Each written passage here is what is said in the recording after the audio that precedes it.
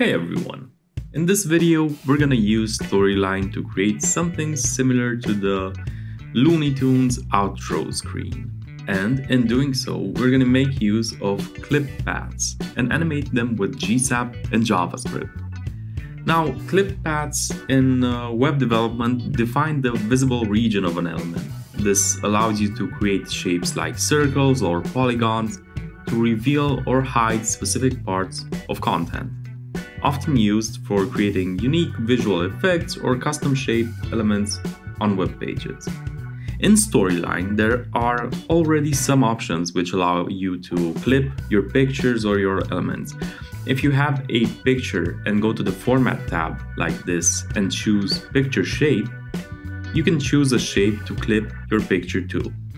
Or you can use the shape entrance and exit animations, which will animate your elements so that they are either revealed or concealed by some predefined shapes, such as a circle, diamond, square, uh, and plus sign. These are the only four options you have. Um, here I selected the circle shape, but it, it, actually makes an oval because my slide size is 1366 by 768. If you're using a slide size of 4 by 3, I think you won't likely encounter this. Anyway, I made this video to show you that we can also add clip paths to our elements using JavaScript. And not only can we add a clip path, but we can also animate them using GSAP. Here's one example in which I animate this circle clip path once I click the button. I have an execute JavaScript trigger here that runs when the button is clicked. In the code, I select the element which I want to animate using the accessibility text value. I gave this image an accessibility text of picture by right-clicking it in Storyline and changing the accessibility value from there.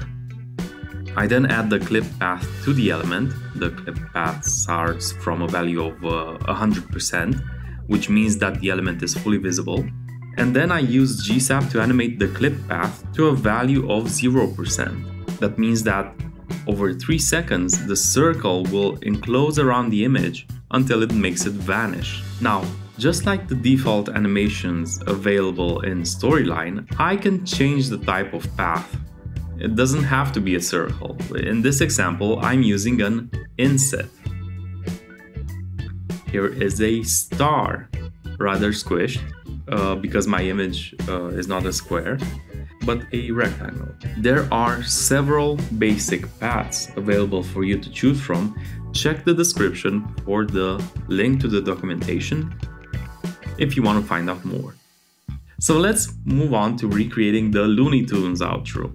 Let me define what I want to achieve. I want the image to be clipped by a circle until about 30% of the way once it gets there, I want this cat character to pop up, as well as the text that says, that's all folks. Then I want to wait for about a second and continue the clipping of the image to 0%, all while shrinking the cat and the text so that they disappear as well. And the only thing that remains at the end will be this black screen that I choose as the slide background. So how do we do this? Well, here's what I came up with. First off, I select the elements, uh, the picture in the background with the concentric circles, then the cat, then the text. Then I add a clip path to my picture and I set it to 100% so that the picture is fully visible and no clipping occurs.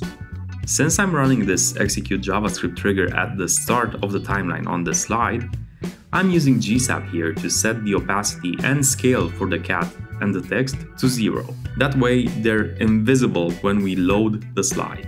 I then create a timeline in a paused state so that it doesn't fire without us specifically telling it to. Then I begin adding my animations.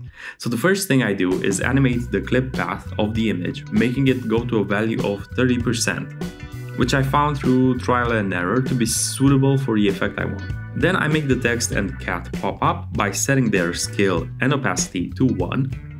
Then I wait 1 second after the previous animation ends and set the cat and text back to a scale opacity uh, to a scale and opacity of 0. Then in this uh, last line I resume animating the clip path of the picture from 30% to 0%. Notice the lesser than signs here. This means that these two lines will start playing at the same time as this line here. Then the last thing I have is my event listener here, which will play the timeline once the mouse clicks on the background picture. And that's all. Now I'm very happy with how this effect turned out.